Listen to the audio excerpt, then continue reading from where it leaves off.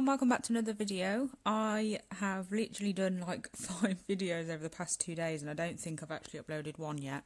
So I need to start focusing more on uploading instead of doing a thing. But I'm here today with just a really, really quick, easy um, gel polish designs video. Um, basically, it's all pretty self-explanatory just from watching, so I'm not going to talk much in this one. Um, but basically, I'm just choosing some colours to put together and just marbling them up. That's it, really. There's not really a lot that's going into it. It's pretty simple. So, yeah, I'm just going to let you watch in peace.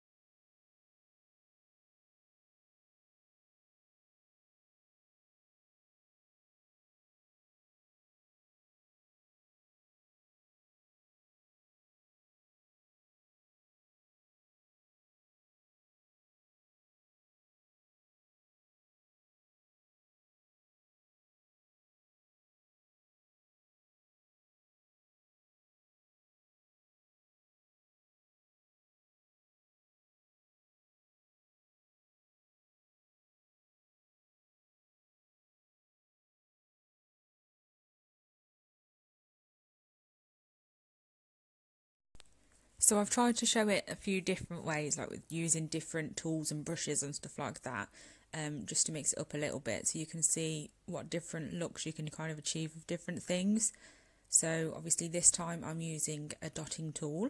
I'd say one main point of marbling gel polish is to make sure that you don't over marble them. Um, if you swirl them into each other a little bit too much, you'll just end up creating basically a new colour. Um, so you won't see the difference between all the colours that are in it. You'll just create a new one and it will just be one colour again. So try not to overdo it. I always do because I get real carried away and then I end up having to add more colour because I've done it too much. So that's just a quick tip.